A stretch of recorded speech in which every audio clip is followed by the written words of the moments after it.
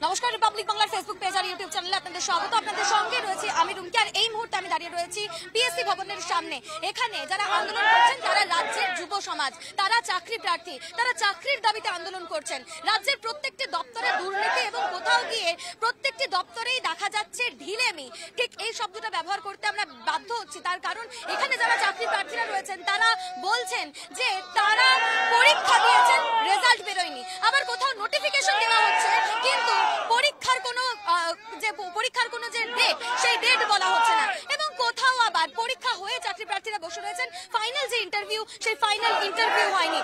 রাজ্যে নিয়োগে দুর্নীতি তো আমরা দেখেছি। এবার যে ছবি দেখা যাচ্ছে, তা কার্যত ঢিলেমির রাজ্য সরকার সেক্ষেত্রে বলা হচ্ছে রাজ্য সরকারের তরফে যে এক লক্ষ পঁচিশ হাজার চাকরি হবে। মুখ্যমন্ত্রী মমতা বন্দ্যোপাধ্যায় তিনি নিজে ঘোষণা করেছিলেন যে এক লক্ষ পঁচিশ হাজার চাকরি দেওয়া হবে বা নিয়োগ দেওয়া হবে। কিন্তু কোথায় কি? প্রত্যেকটি দপ্তরেই এক ছবি।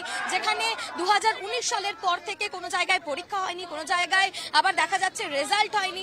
এবং আবার এবং এর পাশাপাশি আরও একটা গুরুতর অভিযোগ শোনা গেল, যেখানে বলা হচ্ছে যে মুখ্যমন্ত্রী মমতা বন্দ্যোপাধ্যায় যেখানে বলছেন যে এক লাখ পঁচিশ হাজার চাকরি হবে, সেখানে গত এপ্রিল মাসেই কিন্তু যে বিভিন্ন পরীক্ষা, সরকারি পরীক্ষা পিএসসি ভবনের তরফ থেকে যে সরকারি পরীক্ষা, সেই পরীক্ষা কিন্তু বাতিল করে দেওয়া হয়েছে বা বলা হয়েছে পোস্টপোন করা হয়েছে।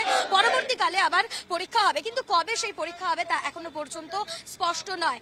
তাই কি বলছেন, যারা চাকরি প্রার্থীরা এই মুহূর্তে জমায়েত করছেন, তারা বলছেন স্বচ্ছ এবং দ্রুত নিয়োগ করতে হবে। সেই দাবিতে এই মুহূর্তে পিএসসি ভবনের সামনে তারা জমায়েত করেছেন। একটা ডেপুটেশন দেবেন এবং এরই পাশাপাশি তারা বলছেন যে তারা যেই সময় দুর্নীতি হয়েছিল সেই সময় যিনি তৎকালীন চেয়ারম্যান ছিলেন দীপঙ্কর দাশগুপ্ত, তার নামে তারা একটা থানাতেও অভিযোগ দায়ের করবেন, কারণ তার জন্যই বঞ্চিত হয়ে রয়েছেন তারা, বঞ্চনার শিকার হয়েছেন তারা।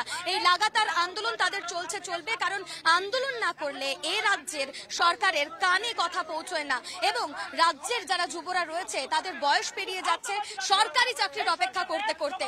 এবং এই আন্দোলন তাদের চলছে, চলবে, এই দাবি কিন্তু তারা বলছেন এবং এই বিষয়টাই তারা স্পষ্ট করে রাজ্য সরকারের কান পর্যন্ত পৌঁছে দেওয়ার চেষ্টায় আজ রাস্তায় নেমেছেন। নানা ধরনের কন্টেন্ট দেখার জন্য লাইক করুন শেয়ার করুন আমাদের ফেসবুক পেজ সাবস্ক্রাইব করুন আমাদের ইউটিউব চ্যানেল পাশাপাশি অন্যান্য ব্রেকিং নিউজের জন্য অবশ্যই নজর রাখুন। রিপাবলিক বাংলায়